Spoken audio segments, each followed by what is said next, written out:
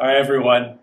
This coronavirus pandemic has inspired a lot of goodwill, a lot of good prayer, a lot of good gratitude, signs of gratitude. There's been all sorts of small signs of gratitude. There's also been the formal ones, and some really creative ways to engage the wider community.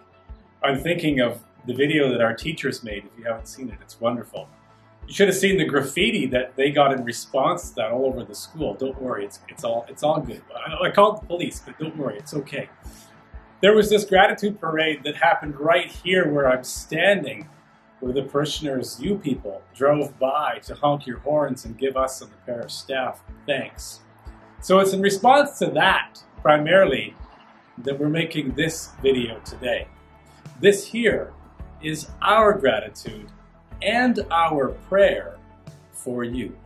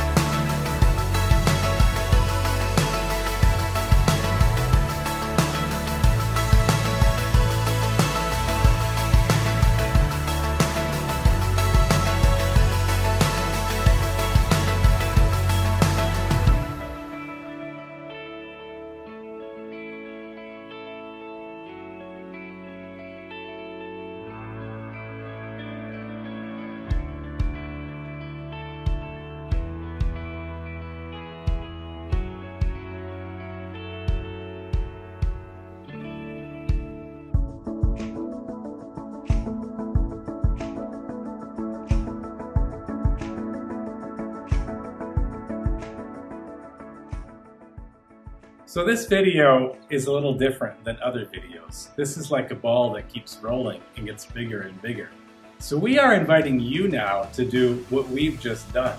That is, express a gratitude and a petition that you have at this time. Engage in prayer. Prayer of thanksgiving, prayer of petition. Write those things down. One gratitude, one petition on a piece of paper. Take a picture of yourself holding those things up and send it to this email address here below. And remember, we're grateful. We at the parish, we who are the parish, that includes you, are grateful for everyone who is part of this community, and we're praying for each other now. Let's keep this ball rolling.